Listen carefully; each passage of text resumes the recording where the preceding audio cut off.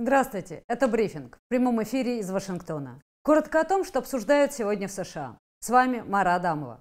Дональд Трамп подбирает нового судью Верховного суда. Кто может стать новым членом высшего органа судебной власти? Президент США Дональд Трамп проводит личные встречи с судьями, одного или одну из которых он номинирует на должность судьи Верховного суда. Они выдающиеся люди, они по-настоящему потрясающие люди, аналитически и иным образом. Президент пообщался с четырьмя кандидатами, всем им от 40 до 50 лет, все они работают в окружных или апелляционных судах. Во время избирательной кампании Трамп обещал, что назначит судей, которые вновь сделают аборты незаконными. Я назначу судьями тех, кто выступает в защиту жизни. На протяжении большей части истории США президенты назначали судьями тех, кого знали лично. Однако в последнее время подбором кандидатов занимаются сотрудники Белого дома, а президент лишь делает окончательный выбор. Главный критерий – послужной список судей, его политическая направленность. В подавляющем большинстве случаев президенты делали выбор в пользу однопартийцев. Закон не указывает, что судья Верховного суда до назначения должен иметь опыт судебной работы, и даже что он должен иметь диплом юридического факультета. Однако в большинстве случаев на этот пост назначали именно профессиональных судей. Относительно недавно в расчет стали принимать пол, расу или этническое происхождение судьи. В 1898 году президент Уильям Маккинли назначил судьей католика Джозефа Маккена. Было очевидно, что Маккинли принял это решение, чтобы угодить многочисленным избирателям итальянского и ирландского происхождения, что Маккена не имеет достаточной квалификации. Однако Маккена стал судьей, и с тех пор католики заседали во всех составах Верховного суда. Президент Вудро Вилсон назначил первого судью еврея, Линдон Джонсон – первого афроамериканца, Рональд Рейган – первую женщину, а Барак Обама – первую представительницу латиноамериканской общины.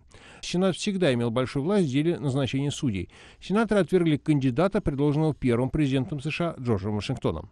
За все время существования Верховного суда президенты предлагали кандидатуры 162 судей. Из них 125 были утверждены Сенатом. Семь судей по разным причинам отказались занять этот пост. Еще немного о политике, но уже с другой стороны границы. Прототипы секции, обещанной президентом Трампом стены на границу между США и Мексикой, превратились в памятник приграничном мексиканском городе Тихуана новое развлечение. Туристов приглашают посмотреть на широко известное, но малозаметное сооружение. Хавьер Рейна смотрит на эту достопримечательность каждый день. Совсем недавно он жил в Калифорнии, но его депортировали. Мне они не нравятся, их нужно снести. Меня депортировали, моя семья там, а я здесь. Смотрю на это. С подачи президента Дональда Трампа США возвели в пустыне перед границей 8 прототипов пограничных стен. Эти объекты и стали привлекать туристов. Экскурсии к прототипам пограничной стены предлагает основанная Дереком Чином компания «Туриста Либре Мексико». Я живу в Тихуане 11 лет. Меня всегда восхищала близость границы и то, как граница влияет на местную жизнь. Это как линия, отделяющая две реальности. Мы рассказываем об истории этой границы и ее нынешнем состоянии. По словам Дерека, посмотреть на границу приезжали уже около 10 тысяч туристов. Люди реагируют по-разному. В основном это американцы, но есть и граждане других стран. У большинства, я думаю, первая эмоция — это стыд, отвращение, ярость, гнев. Иногда люди плачут. Я вижу, что это строительство стены — просто огромная трата денег. Есть старая поговорка, что за хорошим забором хорошие соседи, но я думаю, что это уж как-то слишком. Президент Трамп добивается, чтобы Конгресс выделил средства на строительство стены на границе с Мексикой. Однако он получил лишь толику затребованных средств, которые по закону возможно использовать только на ремонт уже существующих заграждений. Судьба прототипов стены зависит от финансирования, а пока эти прототипы служат памятниками кризиса в американско-мексиканских отношениях. Беззвучная сигнализация вызывает полицию автоматически. В Викторовиле полиция приехала на такой вызов и арестовала хозяина. Джимми Уильямс во всех отношениях законопослушный гражданин. Тем не менее, его неоднократно арестовала полиция. У меня нет никаких судимостей, совсем нет. Я был арестован вместо этого парня в 2006 году и снова в 2009. Все потому, что они полные тезки. Та же дата рождения, тот же год. Его имя полностью совпадает с Джимми Антонио Уильямсом Джуниором, уголовником с длинным списком судимостей. У полиции уже давно есть судебный ордер на его арест. Меня вытащили из машины под дулом пистолета прямо перед моими детьми, так что это действительно причиняет мне неудобства. Его последнее столкновение с полицией Викторвилля произошло вчера. На видео с камер наблюдения видно, как помощники шерифа приехали к нему домой по сигналу беззвучной сигнализации. Все было хорошо, пока они не проверили его документы. Я начал объяснять, что есть другой джентльмен, и я не тот джентльмен, я уже проходил через это. И все равно, по словам Уильямса, помощники шерифа потребовали дополнительные доказательства и его номер социального страхования.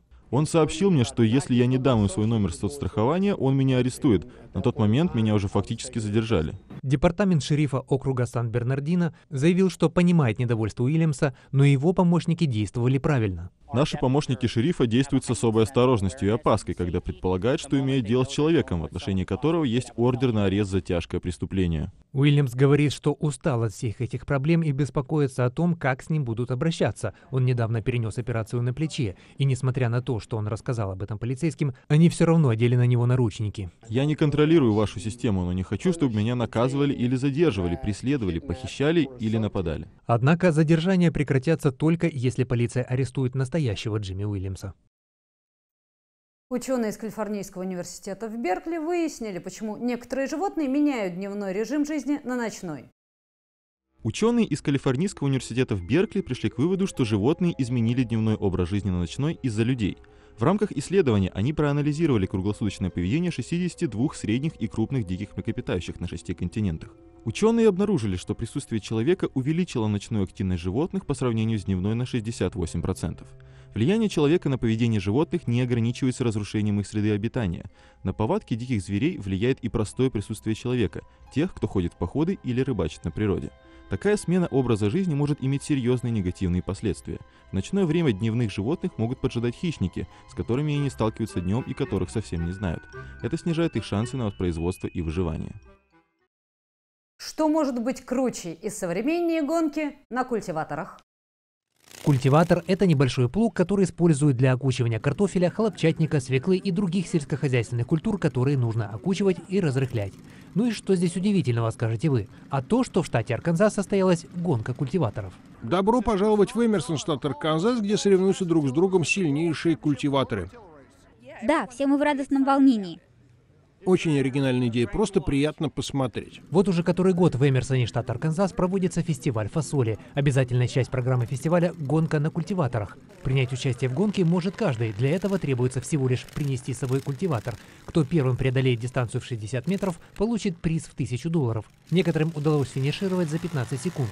Забавную гонку впервые провели в 1990 году, и с тех пор она стала такой популярной, что ее стали называть чемпионатом мира. Местные жители даже создали спортивную федерацию. Это было непросто, скажу я вам. Я так устал. На этом сегодня все. Спасибо всем, кто был с нами сегодня. До встречи на брифинге.